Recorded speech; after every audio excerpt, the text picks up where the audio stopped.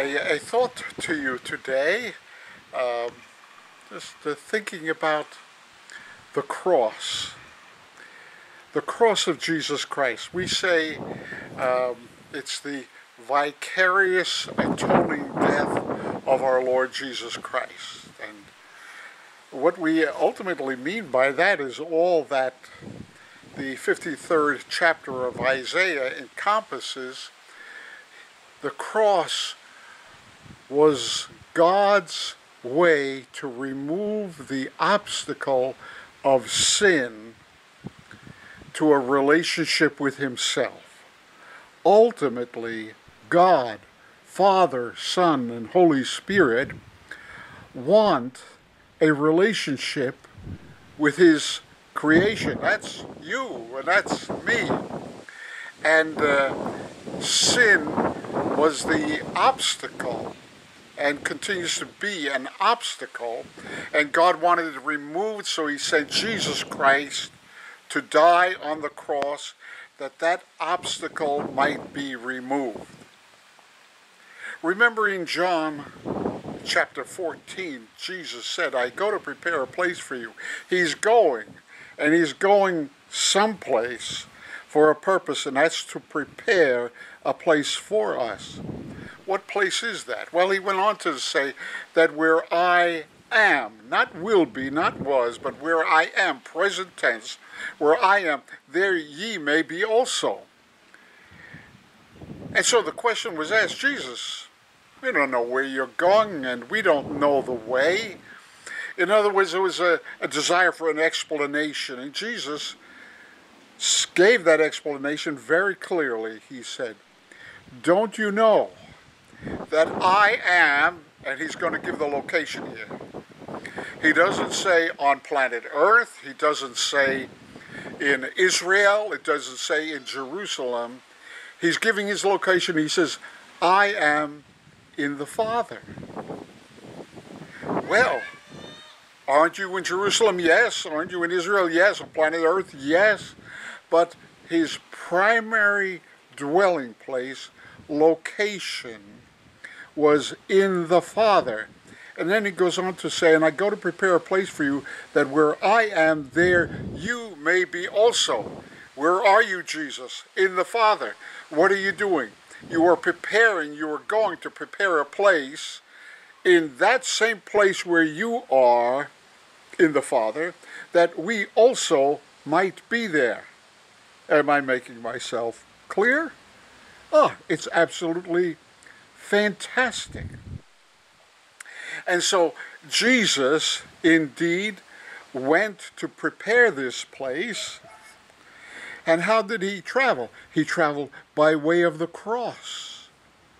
He had to go to the cross to remove the sin barrier so we can be forgiven, cleansed, washed, whiter than snow, so that we would be eligible for what? Well, Jesus said, I go to the Father. After the cross, he returned to the Father so that the Father would send the Holy Spirit.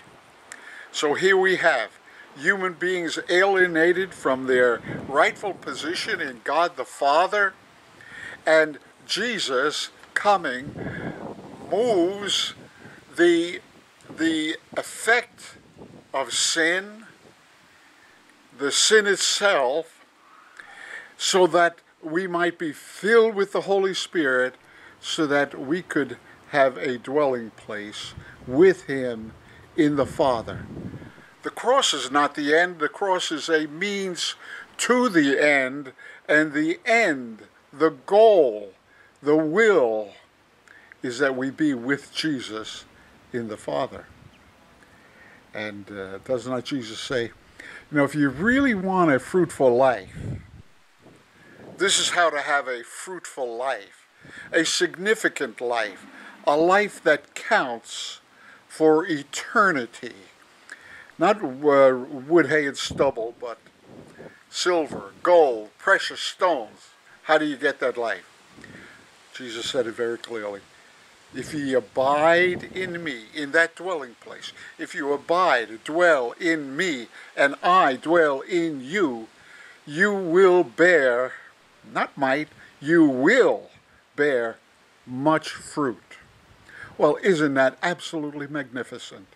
It seems that Moses knew a little bit about that even before the, the cross.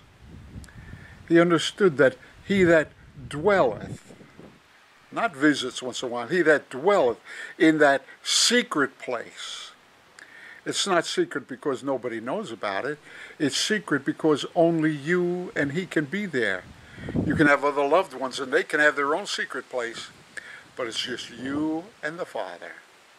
He that dwells there will, will accrue to themselves the ultimate protection, greater than the Secret Service or any other method of protection. You will dwell, uh, that seeks, uh, dwelleth in the secret place shall abide under the shadow of the Almighty. In Romanian, uh, the Romanian language, we say atot poternic, Doamne Dumnezeu atot poternic, all powerful, and you don't get any more protection than that. And uh, what do we find there? Well, the ultimate yearnings of the human heart are found only there. In thy presence is fullness of joy, and at thy right hand, God the Father, God the Son, God the Holy Spirit, at thy right hand there are pleasures forevermore. I've tasted that, have you?